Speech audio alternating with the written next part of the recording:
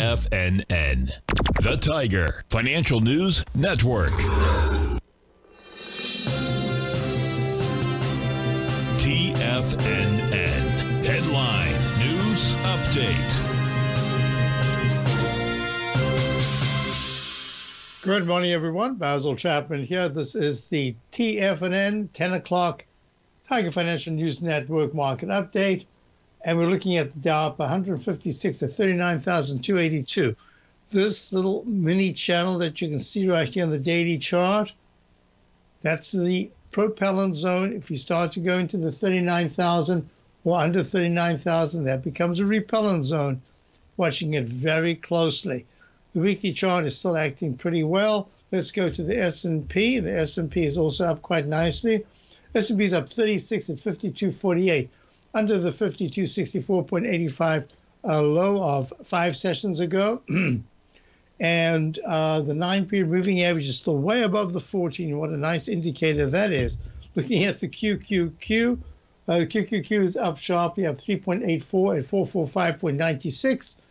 449.34 was the high two weeks ago. Um, let me just draw this in because this is what we call in the Chapman wave methodology falling axe formation.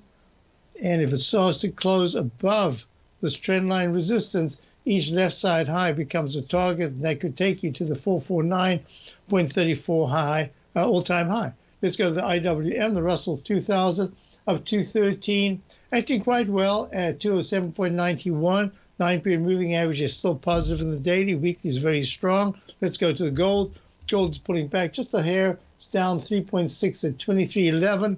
Leg D. Uh, this is where you can start to expect at least some sideways consolidation here uh, a very deep uh, sell-off will have to be triggered by something uh, other than just the price itself because it's acting extremely well. The dollar has pulled back a little bit, and now it's oh, it's gone a little bit high, deeper down, 27 cents, uh, 27 ticks at 103.98. Now it's under the 14-period moving average for the first time in quite a while. Let's go to bonds. Uh, bonds are up 1930 seconds. Whew, thank goodness, because they were going lower and lower and the yields were going higher and higher. It's at 118 and 12 30 seconds.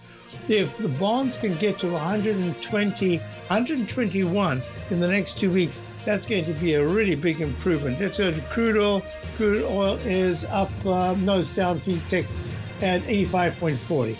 I'll be back in a moment for the Tiger Technicians Hour. Very interesting period we're in right at this particular moment with a diverse thing. Because if you look at the XLP, the select um, XLP. I'll get